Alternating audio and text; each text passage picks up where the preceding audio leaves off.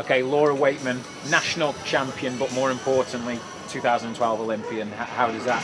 Well, smile says it all. What's Sounds your reaction? pretty good, doesn't yeah, it? definitely does. Well, Like you tell me how it sounds. You- You're the one who's going to be going to the games now. Yeah, like never mind being like I've won my first national 15 metre title, but getting selection for the Olympics is pretty unbelievable. Definitely. Talk us through the race.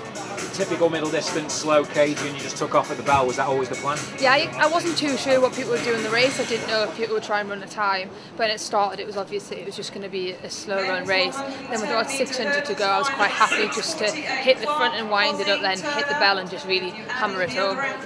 You've been known for your junior exploits, but you seem to make the transition from juniors to senior very impressively. You're already, obviously, qualifying for a major senior championship. Yeah. Is there anything particular that you've been doing, or you know, is just it just feels though you're improving every year? Yeah, well, I had a tough year last year because I had a knee operation and I had like quite a tough time with my asthma. But I think last year really was a good year for me to not because I couldn't compete, so I'd had to do a lot of work and cross training and working on my physical self rather than running. So I think that really helped. So it's all been worth it for you now. Last Yeah. thing, obviously Northeast connection. You coach Steve. We've got Ross Murray in the 15 as well. Yeah. What is it about you, Geordie? Well, I'm sorry, not Geordie. North Northeast people. You just produce great metric miles. Hard workers. Yeah, definitely great.